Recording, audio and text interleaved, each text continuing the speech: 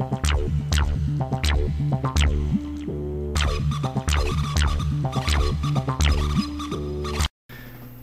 guys, this is Paulio Jr. and today I wanted to show you um, how to uh, install a um, a Bluetooth adapter into a um, a computer or laptop that doesn't have Bluetooth capability.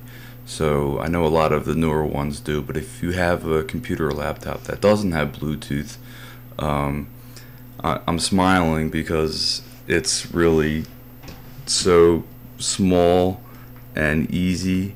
I'm trying to show it to you right now. It's just this. It's just this little USB dongle. That's it. That's all you need. And if your computer or laptop does not have Bluetooth capability,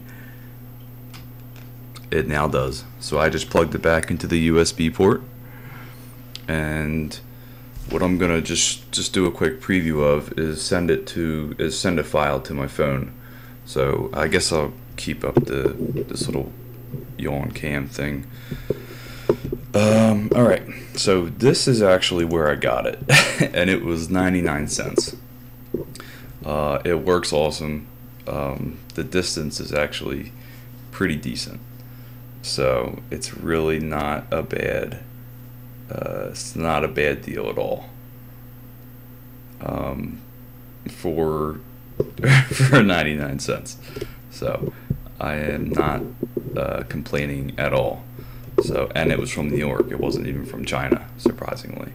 So what I'm gonna do on my phone is pair to um,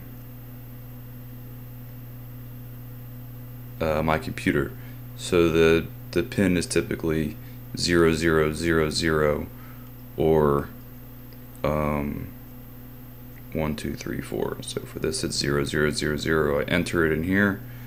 Okay. And you see that window pops up down here. I'm going to click to allow it. Type in the same one. 2, 3, 4. Next. It's been successfully added to the computer. Close.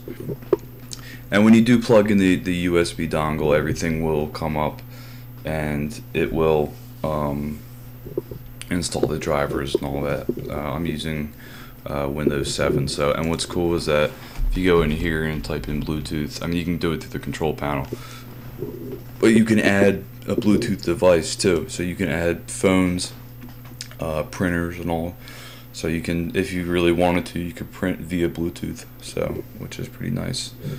Um, so what we're going to do is use this Bluetooth file transfer and we're going to send a file to my little test dummy phone and we're just going to do something short so we're not killing up time here and we'll do this little picture we'll click next and on the phone it asks for permission and I just always allow from this device accept it's sent your picture was received. I know you can't really see it.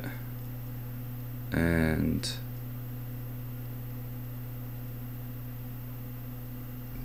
just to show you that it did work, this was the picture. Something stupid, but.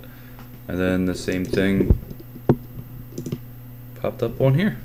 So, and you can do that with music and all the other good stuff. I know Bluetooth has been out for a while, but still a really cool thing to have, cool feature to use. Um, you know, if you don't feel like plugging anything in your computer, just set that up and send stuff to your phone. I know there's all kinds of crap like Google Drive and all that, but uh, Bluetooth is still, um, I'd say, still pretty relevant. Um, and that's really it. I just wanted to show you where you can get it, how cheap you can get it, um, because there was things that I needed Bluetooth for on my computer, and I didn't have it, so I got this cheap little dongle, and uh, and it worked great. So just a short video. Uh, I hope that helped you out, and uh, hopefully you guys subscribe. Please subscribe. Thanks, guys.